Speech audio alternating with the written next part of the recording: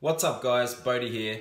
Have you ever thought, what apps is this Shopify store using? Like, what apps are they using and they're having so much success? I would love to know so I could use them for my store. And not so much copy them, but model off that. It might be someone in the similar niche and you're just wondering, okay, what email campaign are they, uh, what email app are they using? Um, what sort of upsells are they using? How can I make my uh, store so much better? So stay tuned and I'll show you guys how you can see exactly what Shopify apps each store is using. Okay guys, so we're gonna go with uh, some outdoor sort of Shopify stores today. So the outdoor niche, very popular niche, and I've got about what have I got here? One, two, three different popular outdoor niche uh, Shopify stores that are very successful. I had actually heard of this one, Cedar Summit, and it turns out that it's actually an Australian company, so that's really cool. They've got uh, 38,000 likes on Facebook, and they're from Perth in Western Australia. So there you go. I've heard about them, but I didn't know they were Australian. So very interesting.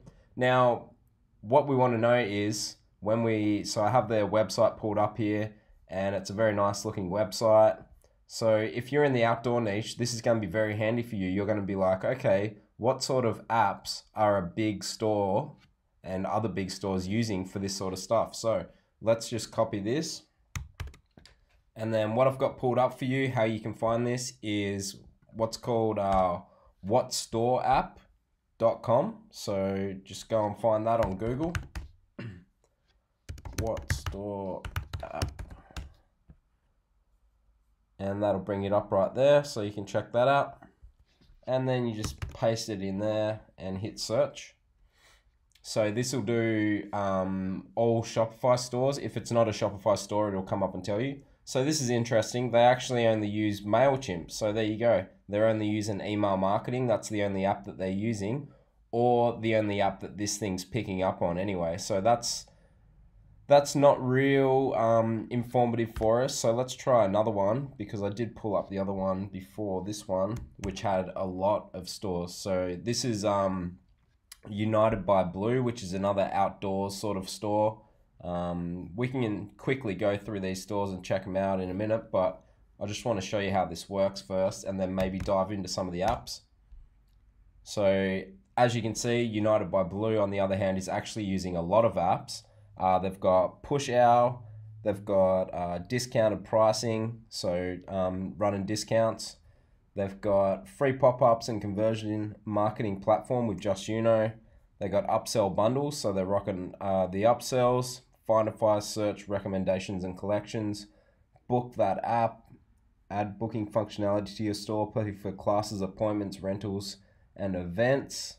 That's that's a cool one. Um, I don't I can't say I've seen that before. And then they've got Swell, which is rewards and referrals by Swell. Dramatically increase revenue with our loyalty program, which rewards your customers for repeat purchases, referrals, and more. So they've got um, a few that start out from zero dollars a month, and they're probably just using like those for that. But you, some of these do actually cost money depending on how much you're using them. So let's just have a look at uh, this one just to show you guys what this is about. So this will take us to the App Store. Now, once you start looking at apps, you want to be looking at the reviews, and then obviously you want to know, excuse me, obviously you want to know um, how much they're going to cost you a month and whether they're worth it. So these app stores are very informative, and the reviews, like people can be very brutally honest with reviews on the internet at the best of times. So go through the reviews and check them out. Um, so Discounts, you know, will obviously get you some more sales, sell more with volume discount, discounted pricing with no code, uh, no coding, and then they've got a full description here. Example, customer buys two or more of a certain product, they get a 5% discount. So, um, yeah, pretty cool, pretty cool. Um, just wanted to show you guys that one, but let's go to this last one, which is actually um, Rock and Run, which is a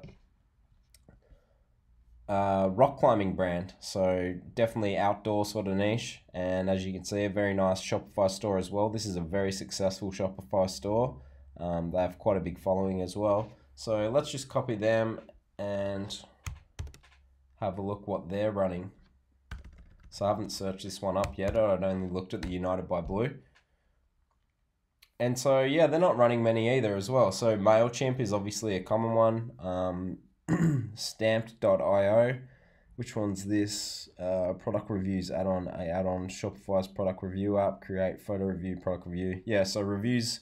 You know, social proof, which is reviews, is very powerful and gets a lot of people on board. Um, interested in buying and checking out and feeling feeling like it's a safe website. Uh, what have we got here? Boost sales by inviting your customers to sign up for an email and SMS alerts sent when their items are back in stock. Supports variants. So interesting. Let's look at this one though because I've never actually dived into this one. Stamped.io. I have heard of it though. Um, that's got a lot of reviews and obviously positive. So this is obviously a very very popular um, niche. I mean app. Sorry, I'm just in the rock climbing niche. Collect reviews easily. Collect product videos, site review, photo reviews, Q and A, Instagram checkout reviews easily to increase social proof. There you go, just like I was saying, which leads to conversions. So just to dive in more on that, when you see things like this, um, this review here, when people give those good reviews, it definitely, like when they have them on their website, it definitely does create a lot more trust of the website and obviously um, that seeing someone else has bought it and enjoys it, people are going to be more likely to buy it off you. So social proof is huge. You'll see that all big brands use social proof. Um, yeah, there's nothing better than a good customer testimonial. It's the honestly the best thing for the business. So, um, what do we got up here? Product reviews, photo reviews, and video reviews. Instagram shoppable gallery. So that's really cool.